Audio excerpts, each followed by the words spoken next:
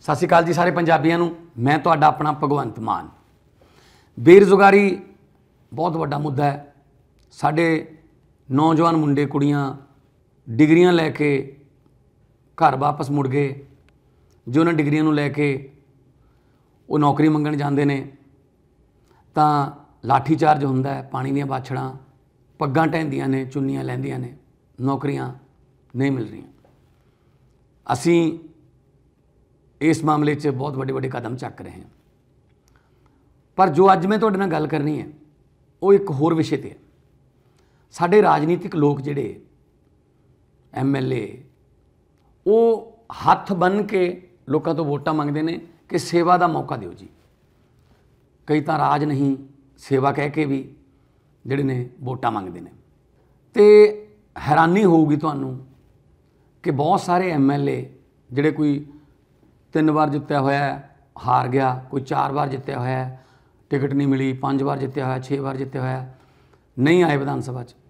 ਉਹਨਾਂ ਨੂੰ ਲੱਖਾਂ ਰੁਪਏ ਪੈਨਸ਼ਨ ਮਿਲਦੀ ਹੈ ਪਰ ਮੰਥ, ਮਹੀਨੇ ਦੀ। ਕਿਸੇ ਨੂੰ 3.5 ਲੱਖ, ਕਿਸੇ ਨੂੰ 4.5 ਲੱਖ ਵੀ ਹੈ, ਕਿਸੇ ਨੂੰ ਸਵਾ 5 ਲੱਖ ਵੀ ਹੈ ਪੈਨਸ਼ਨ। ਤੇ ਖਜ਼ਾਨੇ ਤੇ ਕਰੋੜਾਂ ਰੁਪਈਆਂ ਦਾ ਬੋਝ ਪੈਂਦਾ ਹੈ। ਕਈ ਐਮਪੀਜ਼ ਵੀ ਇਹੋ ਜਿਹੇ ਨੇ ਜਿਹੜੇ ਐਮਪੀ ਦੀ ਵੀ ਪੈਨਸ਼ਨ ਲੈ ਰਹੇ ਨੇ ਤੇ ਇੱਥੇ ਪਹਿਲਾਂ ਐਮਐਲਏ ਰਹੇ ਸੀ, ਉਹਦੀ ਪੈਨਸ਼ਨ ਵੀ ਲੈ ਰਹੇ ਨੇ। ਸੋ ਅੱਜ ਇੱਕ ਬਹੁਤ ਵੱਡਾ ਫੈਸਲਾ ਪੰਜਾਬ ਸਰਕਾਰ ਵੱਲੋਂ ਮੈਂ ਕਰਨ ਜਾ ਰਿਹਾ ਕਿ ਐਮਐਲਏ ਭਾਵੇਂ ਦੋ ਵਾਰ ਜਿੱਤੇ, ਪੰਜ ਵਾਰ ਜਿੱਤੇ, ਸੱਤ ਵਾਰ ਜਿੱਤੇ, ਪਰ ਉਹਨੂੰ ਪੈਨਸ਼ਨ ਸਿਰਫ ਇੱਕ ਟਰਮ ਦੀ ਮਿਲੂਗੀ।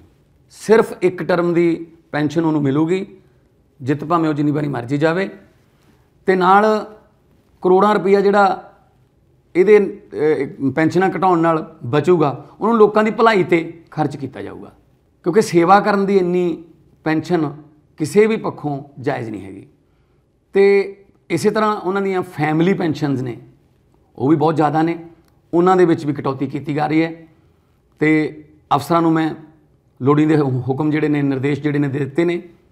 ਮੈਂ ਇੱਕ ਵਾਰੀ ਫੇਰ ਦੱਸ ਦੇਣਾ ਚਾਹੁੰਦਾ ਪੰਜਾਬ ਦੇ ਵਿੱਚ ਜਿਹੜੇ ਐਮਐਲਏ ਨੇ, ਐਕਸ ਐਮਐਲਏ ਭਾਵੇਂ ਉਹ ਦੋ ਵਾਰ ਜਿੱਤੇ ਨੇ, ਪੰਜ ਵਾਰ ਜਿੱਤੇ ਨੇ 10 ਵਾਰ ਜਿੱਤੇ ਨੇ, ਉਹਨਾਂ ਨੂੰ ਸਿਰਫ ਇੱਕ ਟਰਮ ਦੀ ਪੈਨਸ਼ਨ ਹੀ ਮਿਲੂਗੀ।